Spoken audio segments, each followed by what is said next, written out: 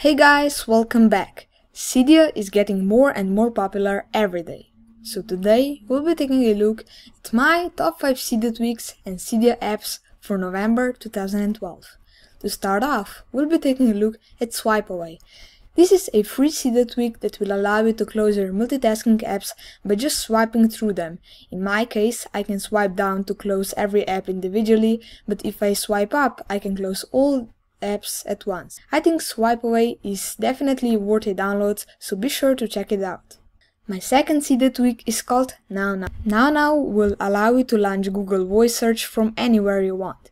You just need to set up your activation method, in my case that is a long press of home button, and you're ready to go. This tweak is free and it is a definite must-have for me.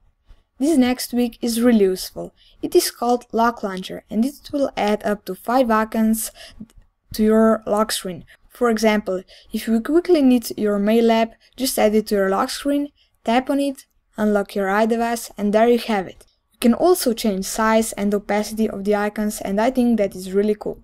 I think this tweak will really come in handy if you need a quick access to your app. Accelerate is a Cydia tweak that will speed up your animations on your iDevice. You can speed them up or slow them down and you have a bunch of presets that will help you out. This tweak is free and I use it all the time. Be sure to check it out and give it a try. And finally, my last Cydia tweak. My last Cydia tweak is called GoDesk.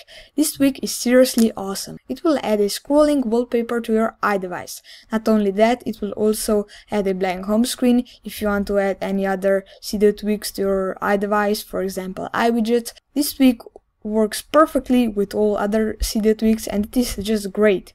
So be sure to download it and give it a try because in my opinion, this tweak is just awesome.